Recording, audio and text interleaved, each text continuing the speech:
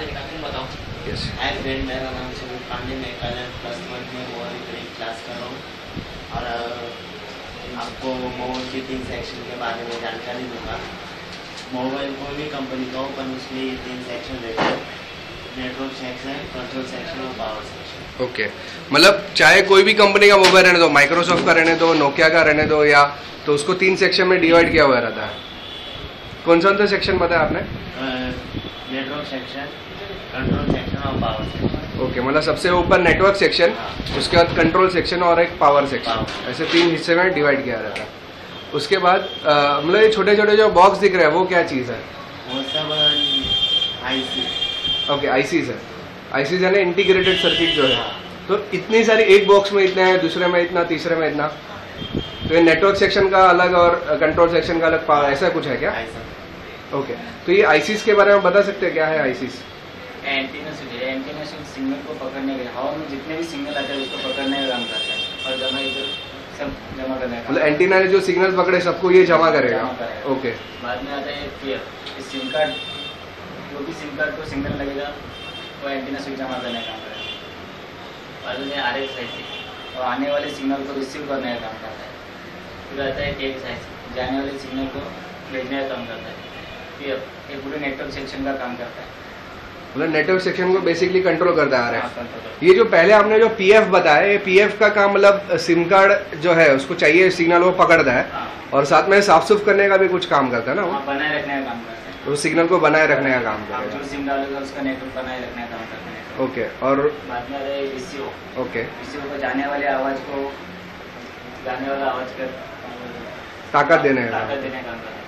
और कौन है. ये जाने वाले आवाज़ को कंट्रोल करने का काम करता है ओके मतलब ये पूरा नेटवर्क सेक्शन में टोटल सात आईसी आ गई उसमें जो मेन आईसी है ना जो कंट्रोल करता है सभी को है आर एफ़ आईसी जो बीच में स्क्वायर में है। उसके आजू बाजू एक क्रिस्टल है और एक वीसीओ ओके सेकंड सेक्शन जो है उसमें तीन आईसी में जो दिखाई दे रहे हैं तो उसमें कौन से कौन से आईसीज है? सीपीयू रैम और सीपीयू रैम और इप्रोम ये सीपीयू यानी कंट्रोल सेंट्रल प्रोसेसिंग यूनिट ये क्या काम करता है? ये अपने पूरे मोबाइल को कंट्रोल करने का काम करता है और इप्रोम है ये पूरे मोबाइल का सॉफ्टवेयर है। मोबाइल का मेन सॉफ्टवेयर है अपने। वो उसके अंदर रहता है क्या? है। चाहे मतलब एंड्रॉइड रहे या कोई माइक्रोसॉफ्ट का कोई मोबाइल भी कोई भी सादा मोबाइल हो या एंड्रॉइड तो उसका पूरा सॉफ्टवेयर इप्रोम के अंदर जमा रहता है। अंदर जमा रहता है। और ये रैम रैम यानी टेम्पररी मेमोरी अपनी। ओके तो ये टेम्पररी मेमोरी यानी जब भी मोबाइल चालू करते हैं तो जो भी काम होता है सब टेम्पररी मेमोरी में होता है। तो लेकिन रैम से कुछ स्पीड का इफ़ेक्ट होता है? हाँ मोबाइल जितना मोबाइल में जितना ज़्यादा रैम रहेगा उतनी स्पीड बढ़ती है और कम रैम की वजह से मोबाइल स्लो ही चलता है और हैंग होने के भी चांसेस रहते हैं। रहते हैं। मतलब आज मैंने आज सुबह नेट पे देखा कि इसमें टू जी रैम है इसमें फोर जी बी रैम है। तो उससे स्पीड में काफ़ी सारा फ़र्क पड़ता है। नेटवर्क नेट आप चलाते तो नेट की स्पीड में बहुत सारा फ़र्क दिखता है। ओके और जो थर्ड जो सेक्शन बताया है वो है पावर सेक्शन उसमें कौन से कौन से आईसीस है?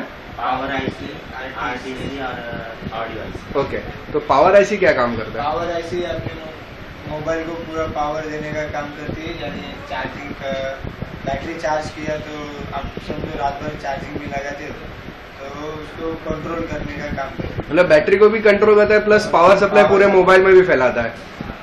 आरटीसी यानी रियल टाइम ऑफ़ क्लॉक ये काम करते हैं अपने पावर आईसी के पावर को कंट्रोल करने का काम करते यानी क्लॉक पल्स मैनेजमेंट का काम करता है इन शॉर्ट ओके और ऑडियो आईसी और ये ऐसे माइक और स्पीकर का काम करता है। जो आप फ़ोन में बात करते जाने वाला आवाज़ और आने वाला आवाज़ ये आइडिया उसी से होता है। ओके ऑडियो आईसी से पूरा कंट्रोल होता है और आवाज़ के जो भी सिग्नल है। तो ये सब पूरा मिला के एक पूरा मोबाइल के अंदर जो आईसीस रहती है वो इतनी आईसीस का इस्तेमाल किया जाता है। ओके आप लोग का नाम क्या बताया? सुनीत आपका। हैं किरण आड़ले ओके यार आप सब प्लस पॉइंट में मोबाइल रिपेयरिंग का कोर्स कर रहे हो? Okay thank you